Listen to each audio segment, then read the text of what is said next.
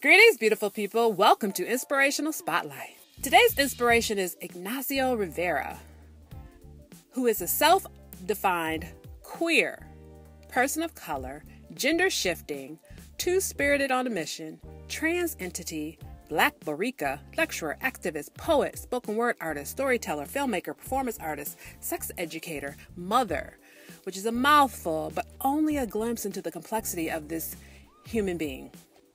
Ignacio is also known as Papí Coxxx, the porn performer name.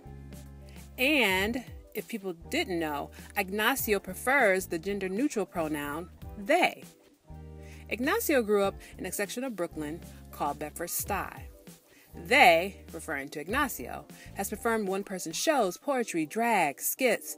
They have written essays, erotica, poetry, political thought, and opinion pieces, and they have traveled extensively to conduct keynotes, workshops, panels, performances, and film screenings.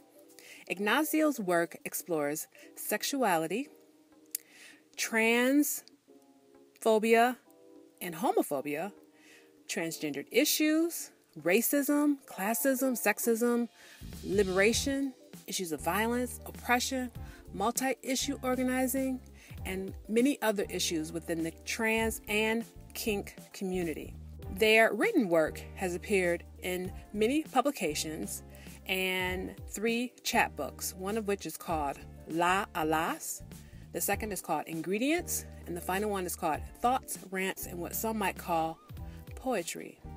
Ignacio is the recipient of the Marsha A. Gomez Cultural Heritage Award, award from LLEGÓ, you know, the National Latina, Latino, Lesbian, Gay, and Bisexual Transgender Organization.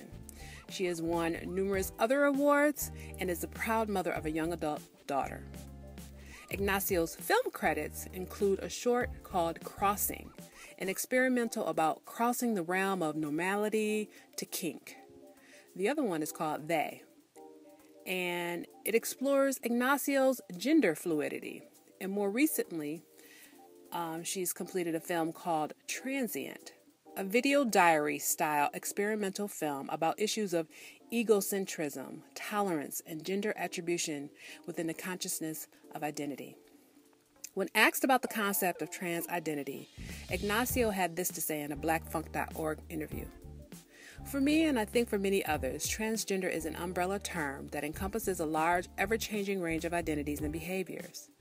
Under that umbrella can be identities and behaviors such as transsexual, cross dresser, drag queen, drag king, genderqueer, gender nonconforming, and so on and so forth. But I identify as trans entity, a term coined by my primary partner. And this means I try to exist and work within the spirit. I am not a man, nor am I a woman. I am both. I am entities that glide and shift, entities that choose how I will present myself and how I will present my body. Ignacio Rivera, today's inspirational spotlight.